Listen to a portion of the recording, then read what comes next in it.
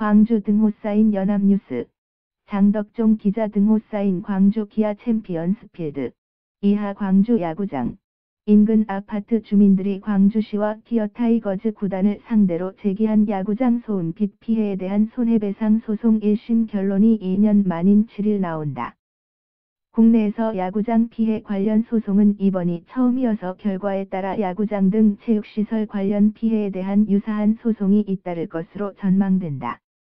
6일 법원에 따르면 광주지법 민사 13부 허상진 부장판사 는 7일 오후 광주 야구장 인근 아파트 주민 656명이 광주시와 구단을 상대로 낸 손해배상 청구 소송 선고 공판을 열 예정이다.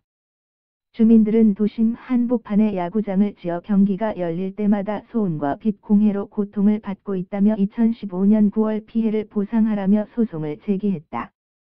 주민들은 전문 기관에 의뢰 소음 피해 기준을 60dB 이상, 빛 피해 기준을 불쾌글레어 지수, 인공조명 빛 공해 정도 26 이상으로 잡고 총 6억 2,600만 원, 평균 95만 원, 을 광주시와 구단이 함께 배상하라고 요구하고 있다.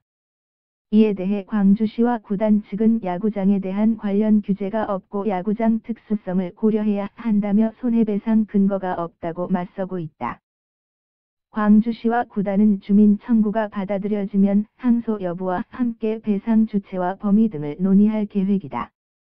재판부는 지난해 10월 실제 경기가 열린 기간 해당 아파트, 야구장에서 검증 기일을 열고 소음과 빛 피해 정도를 직접 확인하기도 했다. 2014년 2월 준공된 광주 기아 챔피언스 필드는 대지 8만 8천, 연면적 5만 7천, 지하 2층 지상 5층 규모로 수용 인원은 2만 7천여 명이다. 인근에는 이번 소송에 참여한 아파트 주민을 비롯해 2천여 명이 거주하고 있다.